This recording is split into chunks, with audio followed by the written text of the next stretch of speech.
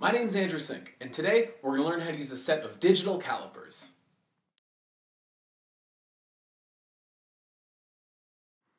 This is a standard set of digital calipers. You can see markings all along the base of the unit that are measuring inches and millimeters.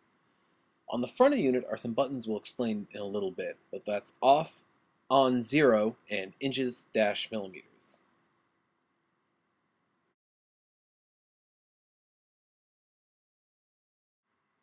Calipers can be used for two types of measurements, internal measurements and external measurements. Uh, if you look carefully at the face of the calipers, you'll notice that there's actually two points of measurement on it. The bottom is external measurement, and that measures the distance uh, between two sides of an object. At the top, you'll notice the other side is used for internal measurement, and that's for measuring the internal diameter of an object. An example would be the inside of a glass, versus the outside measurement would be the outside diameter of that same glass.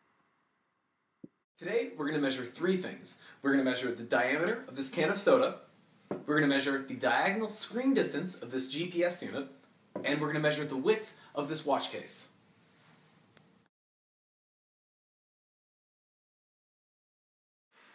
So, as we mentioned before, there's three buttons on the face of the calipers. There's off, on zero, and inches dash millimeters. The first thing you want to do is go ahead and turn the calipers on by pressing the on button.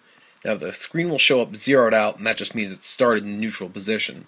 The calipers will actually start in zeroed out regardless of their actual location when you first turn it on. So you want to make sure that it's calibrated, and you do this by closing it, turning it on, and then checking it by adjusting it out and pushing it back in, and it should come to rest at zero. That means it's calibrated properly. And it's already in inches, so we're good to go. And uh, yeah, let's start measuring stuff.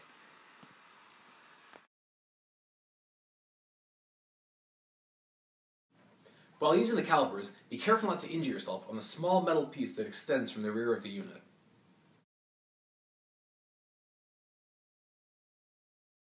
First, we're going to measure this can of soda.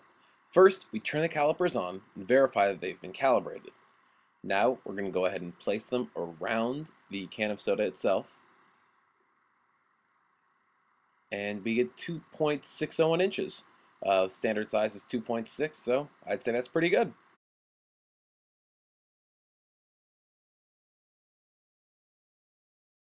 Now we're going to measure the screen size of this 5-inch GPS unit. We do that by turning the calipers on, verifying they've been calibrated. Now we're going to measure from one corner to the diagonal corner opposing it, and we get 5.02 inches. All right, pretty good.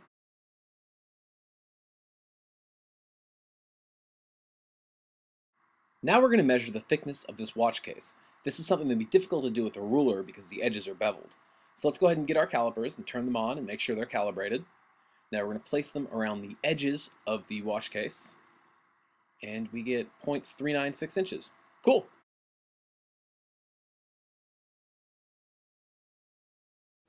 Now you know how to use a set of digital calipers. This is a very handy skill and one that'll come in useful many times. Thanks for watching.